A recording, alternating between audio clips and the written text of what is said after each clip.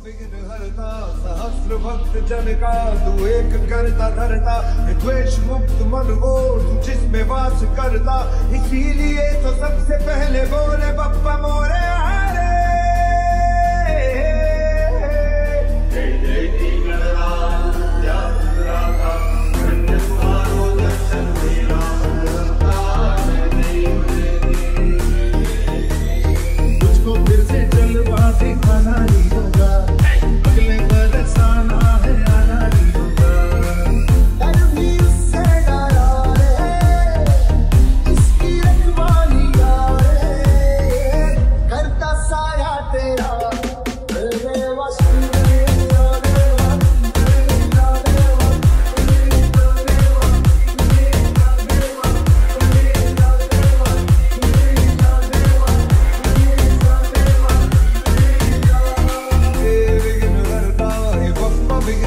था सहस्र भक्त जनता तू एक करता धरता द्वेष